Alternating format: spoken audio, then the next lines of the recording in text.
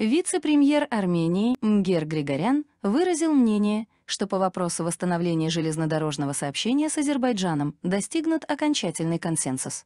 По части восстановления железнодорожного сообщения по участку Ерасх, Армения, Джульфа, Нахчеван, Мигри, Армения, Городис, Азербайджан, я считаю, что есть окончательный консенсус, сказал Григорян журналистам в среду.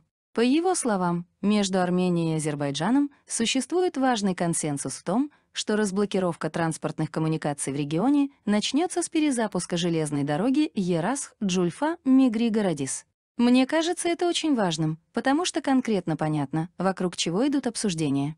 Считаю, что есть окончательное восприятие того, что конечное решение должно быть под суверенитетом и юрисдикцией тех стран, по территории которых будет проходить дорога. Это тоже очень важная и фундаментальная договоренность, сказал Григорян. Он не стал раскрывать детали по остальным вопросам переговоров в рамках трехсторонней комиссии, отметив, что по ним еще нет окончательного консенсуса.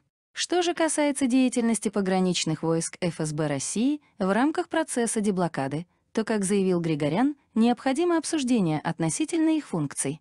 В ходе 12-го заседания трехсторонней рабочей группы в Москве в начале июня текущего года вице-премьеры Азербайджана, Армении и России Шахин Мустафаев, Мгер Григорян и Алексей Аверчук достигли понимания относительно реализации конкретных шагов по восстановлению и организации железнодорожного сообщения по маршруту Ерасх-Джульфа-Мигри-Городис.